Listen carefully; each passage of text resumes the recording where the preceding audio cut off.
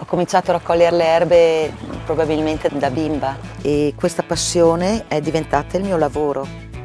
Quello che faccio è un'attività antichissima, però anche attualissima, modernissima, che mi fa stare con i piedi nel passato, ma la testa deve essere nel futuro.